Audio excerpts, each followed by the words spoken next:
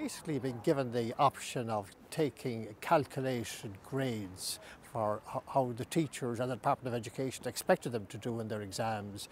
If they're not entirely happy with that, they can opt to sit the leaving certificate.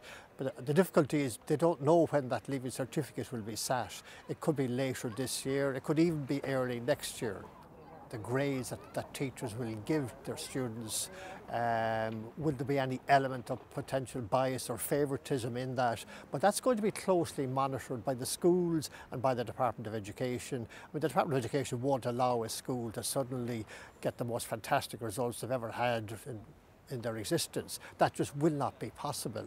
They've, they've also got outside expertise to help in this calculation. Um, so it'll be a pretty uh, systematic, systematic approach to giving the grades. So I think there'll be, because they're very concerned about the element of fairness in the exams. That's a real big issue, equity and fairness. So the question arises now, what next? Well, five out of six Leaving Certificate students apply to go to college.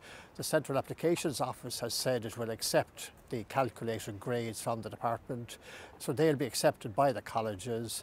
The colleges are going to try to stick uh, as close as possible to the normal schedule for making offers and uh, taking in first years and starting, starting first year courses.